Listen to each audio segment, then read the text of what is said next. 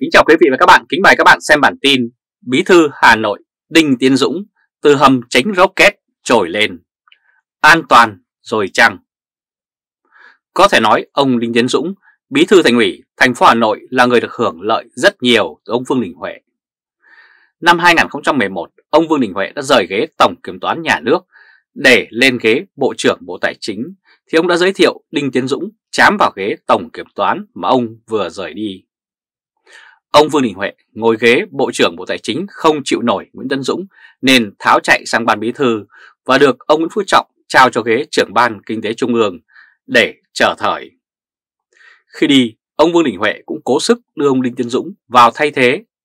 Thế rồi năm 2021, khi ông Vương Đình Huệ rời ghế bí thư thành ủy Hà Nội, nhận được chức Chủ tịch Quốc hội, ông Huệ lại giới thiệu Đinh Tiến Dũng vào ghế bí thư thành ủy thành phố Hà Nội.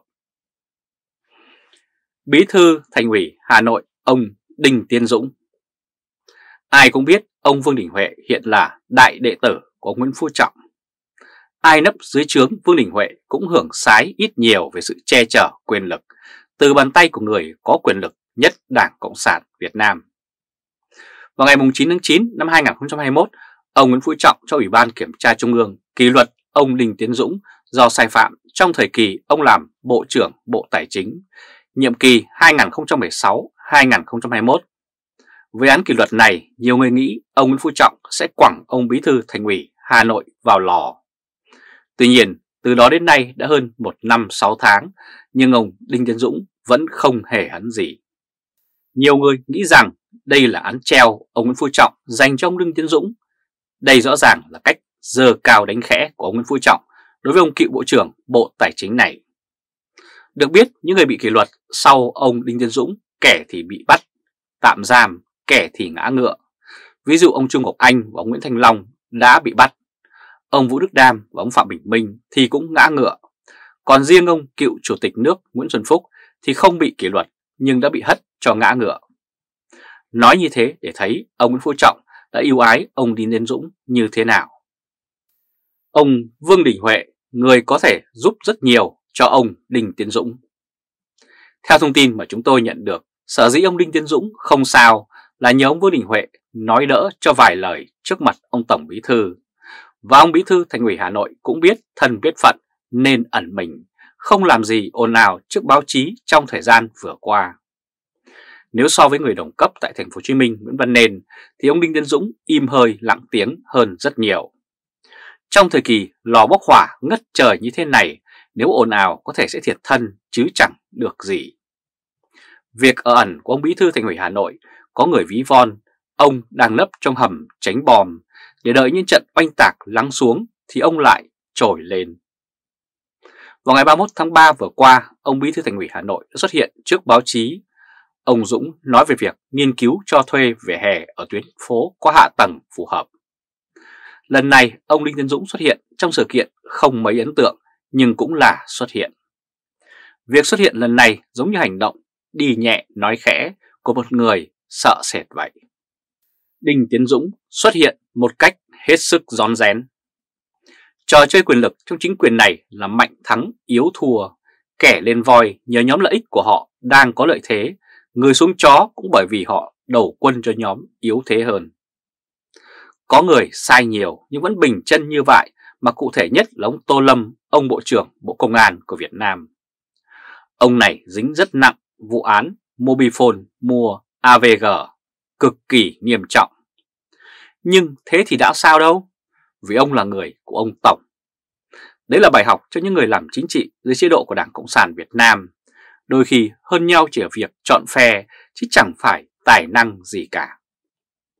Với sai phạm của ông Đinh Tiến Dũng, ông hoàn toàn có thể bị ngã ngựa nhưng giờ đây vẫn an toàn bởi ông là người được Vương Đình Huệ giúp đỡ. Chỉ cần như thế thì Đinh Tiến Dũng đã bình yên, miễn sao đừng làm gì ồn ào lên là được. Quý vị và các bạn vừa theo dõi chương trình truyền hình trực tiếp của Lê Trung Khoa, Thời báo chấm với bản tin Bí thư Hà Nội Đinh Tiến Dũng từ hầm tránh rocket trồi lên, an toàn rồi chăng? Quý vị và các bạn hãy chia sẻ video này cho nhiều người biết và bấm nút theo dõi YouTube và Facebook của Thời báo chấm để luôn được cập nhật những bản tin mới nhất, nhanh nhất và trung thực nhất. Từ Berlin, Cộng hòa Liên bang Đức chào các bạn và hẹn gặp lại các bạn ở bản tin lần tới. Trung Khoa, Thời báo, chấm đề. Kính chào quý vị và các bạn, kính mời các bạn xem bản tin Cựu Chủ tịch nước Trương Tấn Sang hết thời, nhà Đặng Thị Hoàng Yến tháo chạy. Cựu Chủ tịch nước Trương Tấn Sang không ưa gì ông cựu Thủ tướng Nguyễn Tấn Dũng. Tuy nhiên, khi còn là người chơi trên vũ đài chính trị Việt Nam, ông Trương Tấn Sang vẫn không đủ lực để đối đầu một trong những thế lực chính trị mạnh nhất Việt Nam. Ông Trương Tấn Sang chọn cách liên minh với ông Tổng Bí thư Nguyễn Phú Trọng để đối đầu với ông Bà Dũng. Ông Trương Tấn Sang được là người cho rằng là người khôn khéo, ông biết cách luôn lối này, lách lối kia, bắt tay người này, chống lại người kia để nâng cao sức mạnh. Chính ông Trương Tấn Sang là người bị Bộ Chính trị kỷ luật vì để cho băng nhóm tội phạm Trương Văn Cam hoạt động trong thời gian dài. Đây là vụ án rất lớn, có thể nói là vụ án lớn nhất từ trước tới nay. Ông Sang bị đưa ra Hà Nội và cho ngồi vào chiếc ghế trưởng ban kinh tế trung ương. Đây là vị trí ngồi cho có, xem như hết nhiệm kỳ 5 năm, ông Sang sẽ về vườn. Cựu Chủ tịch nước Trương Tấn Sang của Việt Nam Không hiểu sao sau 7 năm ngồi chơi xây nước ở ghế trưởng ban kinh tế trung ương, ông Sang bất ngờ ngồi vào ghế thường trực ban bí thư. Thời gian này được xem là lúc ông Trương Tấn Sang chuyển bại thành thắng ngoạn mục. Khi là thường trực ban bí thư, ông Trương Tấn Sang có tham vọng tranh chức tổng bí thư nhưng thất bại trước ông Nguyễn Phú Trọng. Và ông nhận giải an ủi là chức chủ tịch nước. Trong cuộc đời chủ tịch nước, trừ ông Lê Đức Anh có quyền lực ngầm, thì ông Trương Tấn Sang cũng đã tạo cho mình một sức mạnh đáng kể. Dù ông ngồi vào ghế hữu danh vô thực, từ năm 2011 thế lực của ông Nguyễn Phú Trọng yếu mà ông Trương Tấn Sang cũng chẳng thể mạnh hơn ông Nguyễn Tấn Dũng. Hai ông này kết lại liên minh, hai ông dự tính là vận động Trung ương Đảng của Bộ Chính trị để phế chuất ông Nguyễn Tấn Dũng vào kỳ hội nghị Trung ương giữa tháng 10 năm 2012. Tuy nhiên, cả hai đều thất bại, khiến ông Nguyễn Phú Trọng đọc diễn văn bế mạc hội nghị mà tức nghẹn đến phát khóc. Trong diễn văn, ông Trọng chỉ gọi ông Nguyễn Tấn Dũng bằng từ một đồng chí mà không dám gọi thẳng tên.